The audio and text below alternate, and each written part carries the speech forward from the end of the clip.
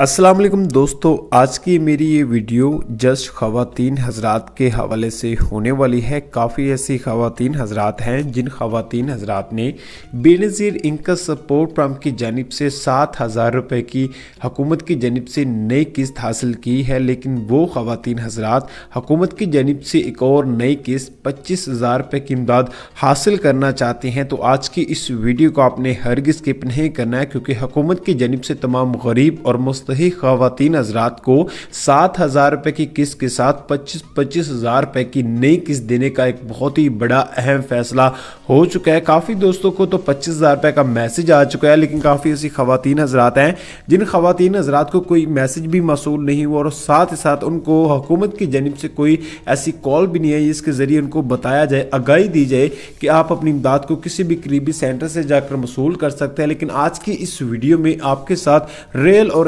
Authentic information share की जाएगी। किस तरीके कार के ज़रिए आप अपने घर बैठे अपने मोबाइल के ज़रिए अपनी इमदाद को चेक कर सकते हैं, वो बहुत ही आसानी तरीके के साथ। लेकिन मैं आपको बता दूँ, ये जो नई जो इमदाद दी जा रही है चंद ऐसे लोग हैं जिनको ये इमदाद दी जाएगी पच्चीस हज़ार रुपये की नई किस्त। लेकिन ये किन किन अफराद को नई, ये किस्त दी जाएगी, मुकम्मल तफसीत आज की इस वीडियो में आपके साथ मैं शेयर करूँगा।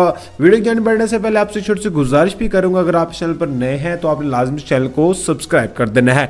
तो सबसे पहले तो बात बात कर लेते हैं कि जिन खानदानों को असास एमरजेंसी कैश फंड की जानब से या फिर बेनज़ीर इनकम सपोर्ट फंड की जानब से सात हज़ार रुपये की नई किस्त मिल चुकी है तो वो ख़ानदान हुकूमत की जानब से जो नई किस्त पच्चीस हज़ार रुपये की हासिल करना चाहते हैं तो वो ख़ानदान काम क्या करें? उन्होंने एक वेब पोर्टल को सर्च कर लेना सो वेब पोर्टल का जो जुरल है लिंक है, वो मैंने डिस्क्रिप्शन बॉक्स में दे दी आपकी आसानी के लिए, ताकि आपको मुश्किल का सामना न करना पड़े और आपको ये पोर्टल बहुत ही इजीली मिल जाए। जैसे आप उसको ओपन करेंगे ओपन करने के बाद वहाँ पर आपने क्या काम करना है, वहाँ पर अपना शिनाख्ती का नंबर ऐड करना है। नीचे आपसे कुछ चंद इन्फॉर्मेशन और पूछी है वो सारी की सारी इन्फॉर्मेशन आपने उनको फराम कर देनी है। और करने के बाद आपने जमा करे पे जैसे क्लिक करेंगे, फौरी तौर पर वो आपके नाम को दोबारा फिर चेक करेंगे। और चेक करने के बाद आपकी जो किस्त होगी, आपकी जो इमदाद होगी, वो आपके अकाउंट में ट्रांसफ़र कर दी जाएगी। लेकिन मैं आपको बता दूँ, ये उन इलाकों में ये इमदाद दी जा रही है जिन इलाकों में बहुत ज़्यादा फ्लड आया था, यानी कि बहुत ज़्यादा पानी आया था।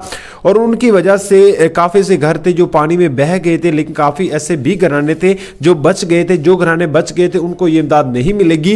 ये उन घरानों को इमदाद मिलेगी जो घराने पानी की लपेट में आ गए थे। उनको पहले इमदाद नहीं दी जा रही थी, लेकिन अब ये इमदाद तकसीम होना स्टार्ट हो चुकी है।